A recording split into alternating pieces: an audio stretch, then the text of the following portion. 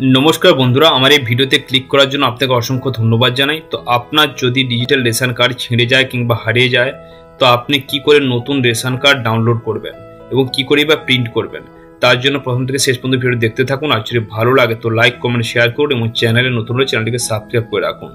আজকের এই ভিডিওতে স্টেপ বাই স্টেপ দেখাবো আপনি কি করে মোবাইল কিংবা কম্পিউটারের মাধ্যমে নিজের রেশন কার্ডকে আপনি ডাউনলোড করবেন। তো করার জন্য আমাদের চলে যেতে হবে গুগলের ক্রোম ব্রাউজারে যাওয়ার পর এখানে আমরা টাইপ করব ডব্লিউ বিপিডিএস লেখার পরে আমরা সার্চ করব। এবার এই যে ডব্লিউ বিপিডিএস এগিয়ে বাংলা এটাতে আমরা ক্লিক করব। করার পরে ঠিক এইরকম পেজটা ওপেন হবে। হওয়ার পরে এখানে দেখতে পাচ্ছেন হোম গ্র্যাভিয়ান ই সিটিজেন ই সিটিজেন আমরা ক্লিক করব। করার পরে এখানে দেখতে পাচ্ছেন তিন নম্বর অপশানে ডাউনলোড ই কার্ড এখানে ক্লিক করব। করার পর একটু সময় লাগবে। তো এখানে আপনার রেশন কার্ডটা আপনাকে দিয়ে দিতে হবে।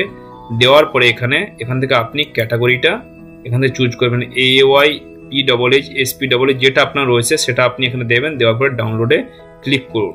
করার পরে দেখুন, করার পরে দেখুন এইরকম রেশন কার্ড কিন্তু ডাউনলোড হয়ে যাবে, ঠিক আছে? এরকম রেশন কার্ড ডাউনলোড হয়ে যাবে, তো এখান থেকে আপনি এই যে দেখুন, আমি এটা হাইড করে রেখেছি কিছুটা অংশ, তো এটাকে আপনি প্রিন্ট করে বের করে নিতে পারবেন।